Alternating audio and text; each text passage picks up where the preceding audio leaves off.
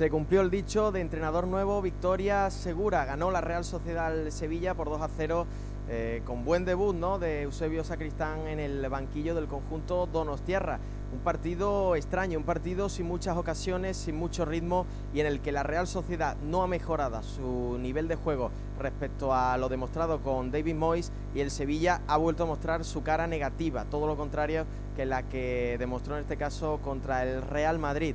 La primera parte quedó marcada por una jugada polémica de Mateu Laoz, un posible eh, fuera de juego que señaló a Ciro Inmóvil, que luego en las repeticiones ha quedado claro que no fue tal, que finalmente acabó con gol del italiano, no subió al marcador por culpa del eh, colegiado y del juez de línea y se marchó el resultado del partido 0 a 0 al descanso. En la segunda mitad del Sevilla bajó bastante su nivel y lo aumentó la Real Sociedad.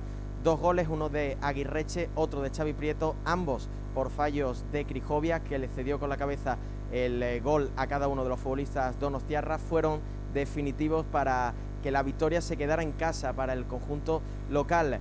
Hay dudas sobre si el Sevilla con Vanega en el campo habría hecho algo más porque Unai Emery finalmente decidió darle descanso, decidió reservarlo para el partido del miércoles en la Champions League y finalmente lo ha pagado caro. Sale del hoyo la Real Sociedad, ya suma 12 puntos, el Sevilla continúa en la mitad de la tabla con 15.